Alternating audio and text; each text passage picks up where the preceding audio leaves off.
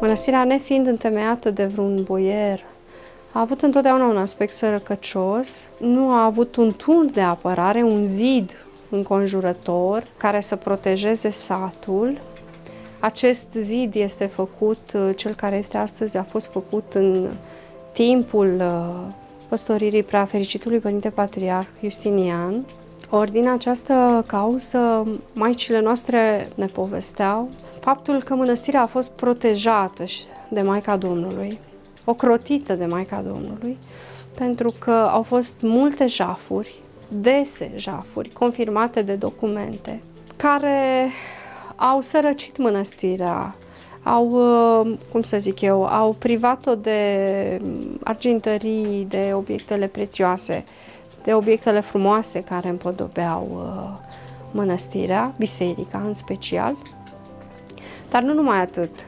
Se zice că la odată când uh, a fost tâlharii erau în zonă și maicile au auzit că vor veni în zonă și știau că ele n-au zide, înconjurător de apărare, n-au un turn, n-au o poartă chiar care să protejeze întreaga incintă și știau că, Doamne, ce suntem ca la Evanghelie, oare poate cetatea de pe vârful muntelui să se ascundă? Asta mi-a fost mie transmis, mirarea aceasta era pe în mintea și pe buzele maicilor care ne povesteau și da, poate să se ascundă, că unde voiește Dumnezeu se biruiește rânduiala firii.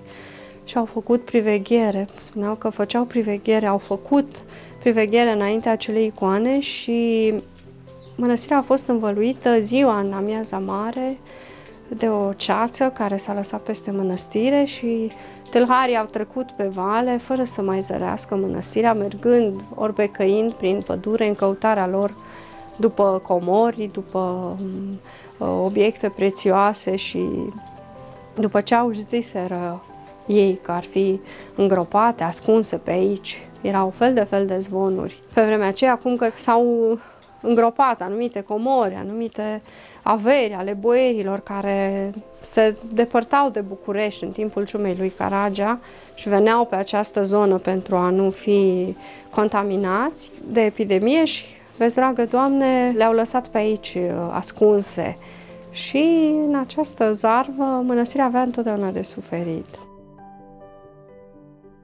Astăzi, la mănăstire, viețuiesc 35 de maici. Suntem puține tinere care susținem uh, mănăstirea și ascultările mănăstirii, foarte multe maici în vârstă, venerabile, de la care încă învățăm. Dumnezeu le-a înzestrat cu o sănătate și luciditate, astfel încât încă ne povestesc din trecut cum a fost mănăstirea înainte, cum era viața monahală înainte, cum au supraviețuit maicile de pe urma decretului, cum uh, mănăstirea nu a fost închisă. Tot spuneau ele, măi, tot o minune a fost, pentru că a fost turnat filmul Haiducii aici în 1960 și mănăstirea era și ea propusă pentru închidere sau transformare în casă de odihnă, deși erau foarte multe maici, erau în jur de 70, rămăseseră în urma decretului.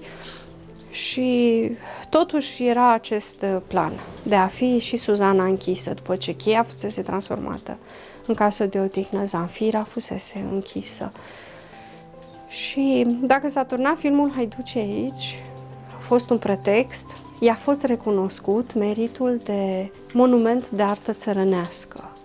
Casele cu cerdacele specifice, cu uh, lemnul acesta traforat frumos. Și nu numai că nu a fost închisă, a intrat chiar în program de restaurare, s-au primit bani de la departamentul cultelor pentru anumite lucrări și, evident, dezvoltate și făcute, împlinite, să zicem așa, prin sârguința Patriarhului uh, Justinian. Maicile noastre bătrâne spuneau, care au prins acele vremuri, spuneau, Suzana nu a avut un titor. A fost ctitoria unei comunități, dar din secolul 20, ctitorul Suzanei este Patriarhul Justinian. Pentru că dacă nu era Patriarhul Justinian, casele nu mai erau recondiționate, restaurate, biserica, zidul, drumul, consolidarea făcută la drum și toate aceste îmbunătățiri, nu mai vorbim de uh, electrificare și canalizare în 1965, au fost făcute prin uh, grija grija Părintelui Patriarh Justinian. Însuși paraclisul mănăstirii Suzana a fost sfințit de Patriarhul Justinian în anul 1974, care a dat al doilea hram al paraclisului pe Sfânta Muceniță Filoteia. La mănăstirea Suzana, liniștea locului, dar și cuvintele blânde pe care maicile au grijă să le rostească pelerinilor, sunt ca o mângâiere. Mănăstirea Suzana chiar a fost, uh, paraclisul mănăstirii a fost sfințit de Patriarhul Justinian în 1974, paraclisul fiind construit în 1911 de Maica Stareță Tomaida Perlea, refăcut în 1971 și sfințit pe data de 7 decembrie de către Patriarhul Justinian, când uh, recomandă ca al doilea hram al Paraclisului pe Sfânta Muceniță Filotea. Ultima săptămână din post, la Mănăstirea Suzana, așa ca și în postul mare, este o săptămână în care ascultările sunt uh, absolvite, ascultările de obște, să zicem, treburile. Încercăm pe cât posibil să le facem înainte, ca să, ultima săptămână să rămână pentru prezența la Sfintele Slujbe, pregătirea cântărilor, repetițiile la muzică, căci sunt cântări care le cântăm o dată pe an și ele trebuiesc repetate, că altfel se uită. Și, în ultimul rând, pregătirea pentru Sfânta Împărtășanie pentru care maicile noastre au un respect deosebit, adică nu te poți împărtăși în a, dacă nu înainte ai citit o, o psaltire întreagă de la cap la coadă, nu te poți împărtăși sau dacă nu ți-ai făcut întreg uh, canonul și n-ai fost prezentă la slujbe de la început până la sfârșit. Așa ne-au transmis, așa ne-au învățat. Și încercăm și noi pe cât uh, posibil să facem, uh, să împlinim.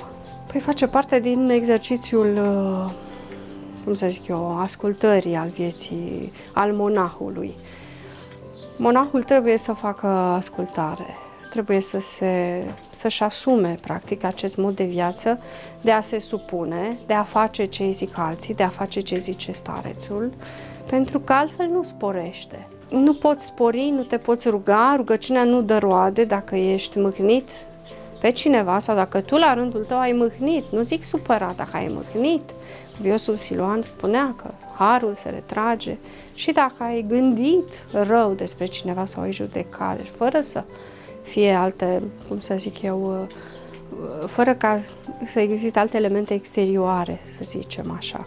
Mănăstirea este izolată, e destul de izolată și se ajunge mai greu, deși suntem foarte aproape de drumul național. Totuși, uh, de sărbători, da, vin totuși. Nu ca la parohii, ca la bisericile din sat, dar uh, vin cei care iubesc liniștea care oferă mănăstirea noastră.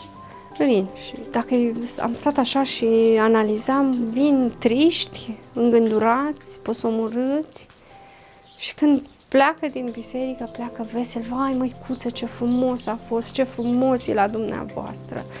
Aici, cu siguranță, Dumnezeu lucrează și Harul lucrează în inima fiecăruia dacă reușește să stea acolo, să, să stea un pic la rugăciune, să facă un efort. Unii oameni nu au stare să stea, tot intră, ies, intră, ies, dar unii intră în biserică și rămân la rugăciune și Dumnezeu îi vindecă, pe toți îi vindecă, nu... Totul e să vii aici și Dumnezeu, Harul lui te copleșește și te aduce pe calea cea bună.